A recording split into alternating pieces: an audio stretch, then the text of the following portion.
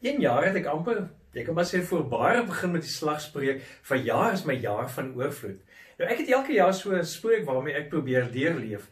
En ek het die jaar die oortuiging probeer leef van Johannes 10 vers 10 waar Jesus sê, ek het gekom sodat hulle die lewe kan hê en dit in oorvloed.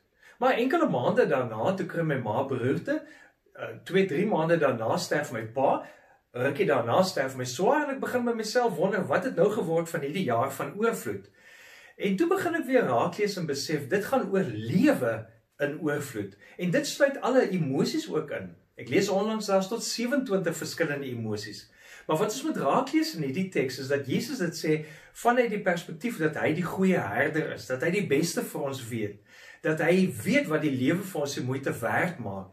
En dit beteken dat ek na my lewe, na my omstandighede, situasie, toekoms moet kyk vanuit 'n Jesus perspektief. Wat is dit wat lewe die moeite werd maak? En dit kan ek met Jesus oor gesels, want dis juis hy wat gekom het sodat ek die lewe in oorvloed kan hê.